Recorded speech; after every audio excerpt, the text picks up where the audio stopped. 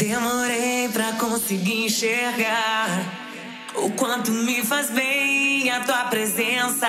Vida de